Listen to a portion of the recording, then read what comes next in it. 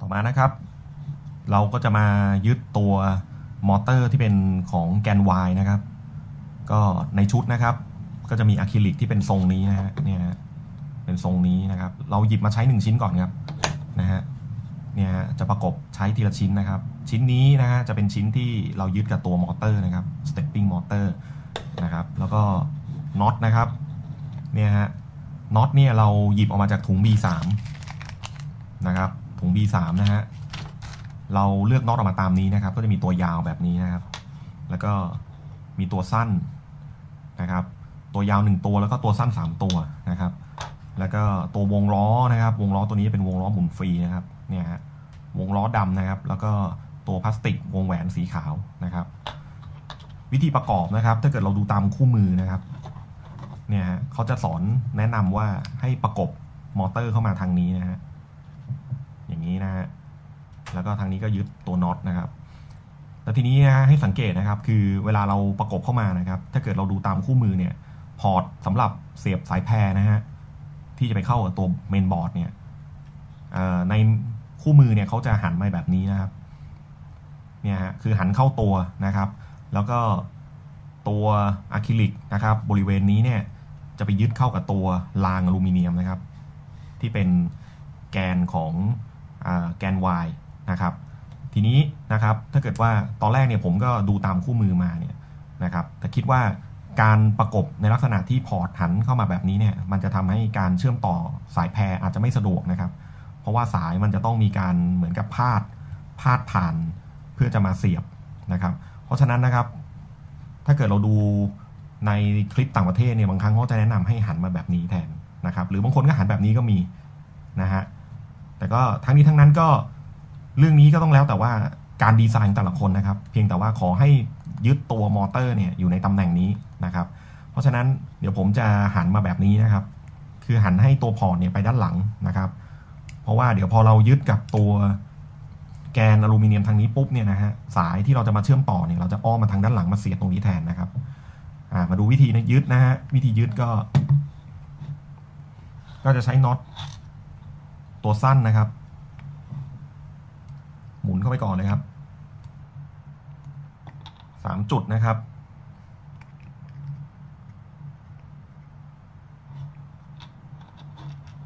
อีกจุดหนึ่งก็จะเป็นจุดนี้นะครับเนี่ยฮะแล้วเดี๋ยวล็อกด้วยตัวหกเหลี่ยมนะครับ แล้วก็เดี๋ยวจุดนี้นะครับ จุดนี้เราก็จะยึดเป็นตัวล้อหมุนฟรีนะครับ เนี่ยฮะก็ยึดตามนี้ครับ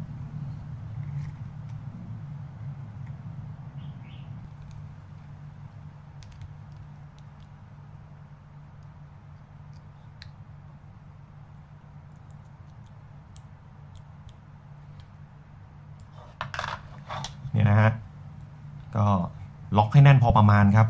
นะครับ ระวังตัวอะคริลิกจะแตกนะครับ เพราะฉะนั้นเราต้องล็อกเอาแค่พอดีพอดีนะครับ อ่าแล้วก็เนี่ยครับเวลาเราล็อกแล้วนะครับเนี่ยน็อตหลักนะครับสามจุดนะครับน็อตตัวที่สี่จะเป็นตัวล้อเลื่อนแบบนี้นะครับเนี่ยตรงนี้มันจะหมุนได้ไม่สุดนะครับ ก็ถูกแล้วฮะเพราะตรงนี้ต้องหมุนฟรีนะครับ แล้วก็อย่างที่บอกนะครับ ตัวพอร์ตสำหรับเชื่อมต่อสายแพรครับเนี่ยก็แล้วแต่คนจะจะดีไซน์นะครับ แต่ละท่านอาจจะประกอบแบบแบบให้มันอยู่ด้านบนก็ได้นะครับ ให้พอร์ตเนี่ยมาอยู่ตรงนี้ก็ได้ ถ้าตามคู่มือเขาจะให้มาอยู่ฝั่งนี้นะครับ แต่ว่าผมมองว่าเดี๋ยวเวลาเราติดตั้งเข้าที่ตัวรางอลูมิเนียมเนี่ยนะครับ ตรงนี้มันไม่มีช่อง มันมีช่องเหมือนกันนะฮะ เพียงแต่ว่ากลัวเดี๋ยวมันจะไปเกะกะกับไอตัวฐานนะครับ ผมก็เลยให้มันอยู่ด้านหลังไปซะเลยนะครับ เพราะว่าเดี๋ยวเราเดินสายเนี่ยสายก็จะอ้อมมาด้านหลังมาเสียบนะครับ แล้วก็เราก็จะมายึดน็อตเพิ่มเติมนะครับสำหรับรู ที่เหลือตรงนี้นะครับสามรูนะครับเหมือนเดิมนะครับ ยังคงเอาน็อตจากในถุง B3 ฮะเนี่ยฮะก็จะใช้น็อตตามนี้นะครับ จะเป็นน็อตสำหรับไปยึดกับตัวรางนะครับเนี่ยฮะสามตัวนะครับ แล้วก็ตัวที่เป็น เหมือนกับเป็นตะขอนะฮะหรือเป็นตัวทีอย่างเงี้ยนะครับ เป็นน็อตตัวเมียนะครับ วิธียึดนะครับ เราก็จะใส่ มาทางนี้นะครับ แล้วก็ หมุนน็อตตัวนี้เข้าไปครับ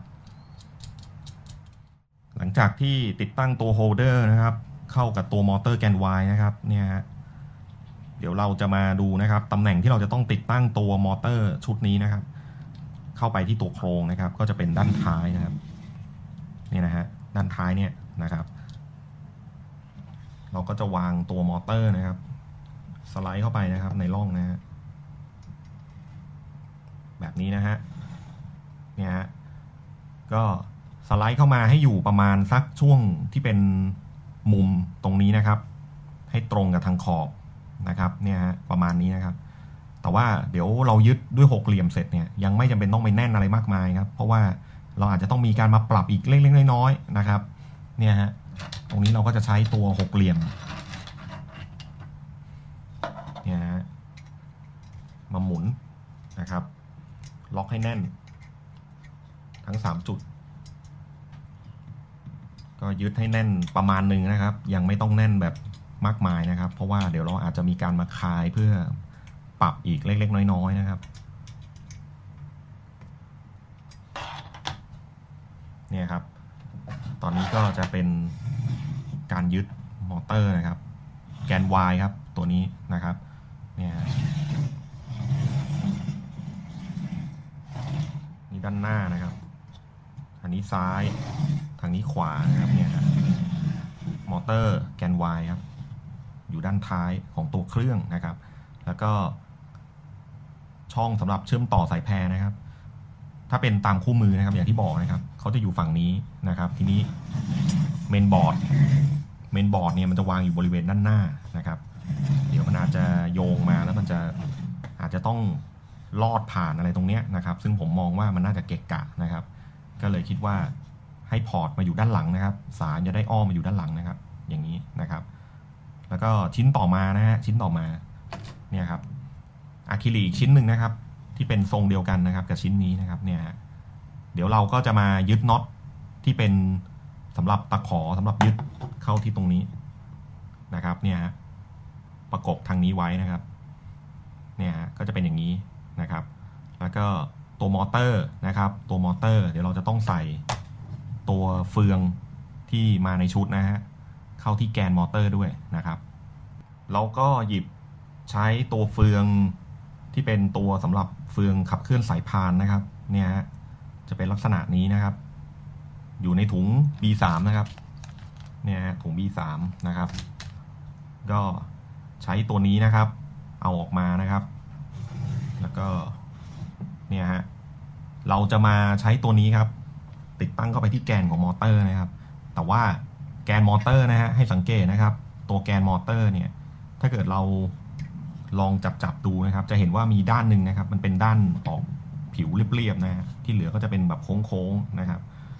เนี่ยฮะเราต้องเอาทางด้านเรียบเนี่ย นะครับ ตรงกับตัวที่น็อตที่เราจะล็อกเข้าไปนะครับ เนี่ยฮะให้ตรงกับทางด้านเรียบนะครับ เพราะว่าเดี๋ยวน็อตเราจะได้หมุนเข้าไป แล้วก็ไปชนกับทางด้านเรียบนะครับเนี่ยฮะ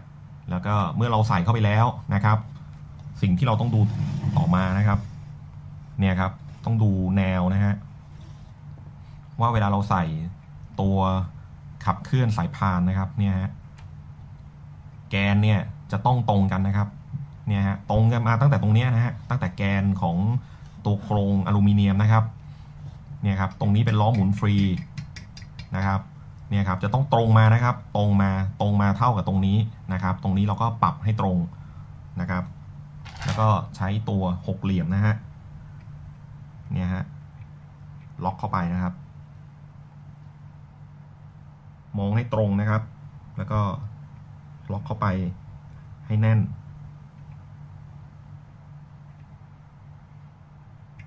เนี่ยครับ แล้วก็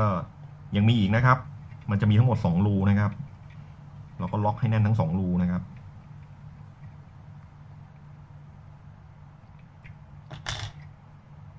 เนี่ยนะฮะตำแหน่ง ให้ตรงนะครับ อย่าลืมนะครับ ต้องตรงมาเลยนะครับ เพราะว่าสายพานมันจะลอดผ่านแกลนอลูมิเนียมตัวนี้มานะครับ แล้วก็มันล็อกเข้ากับตัวขับเคลื่อนตัวนี้นะครับเนี่ยฮะมอเตอร์แกน Y นะครับตัวนี้เนี่ยครับ หลังจากที่ติดตั้งเรียบร้อยนะครับเนี่ยฮะอย่าลืมนะครับ แนวตรงนี้ต้องตรงนะครับ จริงๆ เราสามารถก้มมองได้นะครับ ตรงนี้จะมีรูของแกนอลูมิเนียมนะครับเนี่ยฮะก็คือต้องตรงมาเลยนะครับ เพราะว่าสายพานมันจะลอดผ่านจากด้านหน้า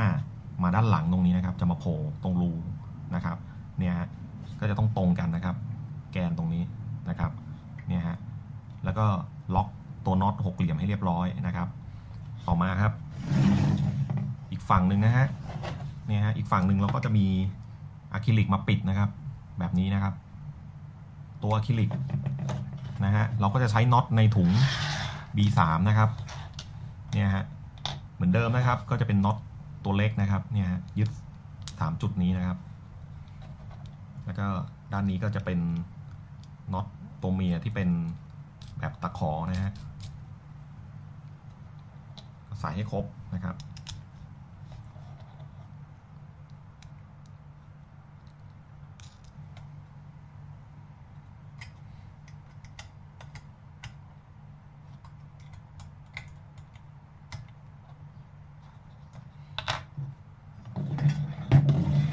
เนี่ยครับ ก็จะติดตั้งตัว holder นะครับสำหรับ มอเตอร์แกน Y ครับเรียบร้อยนะครับแบบนี้นะครับ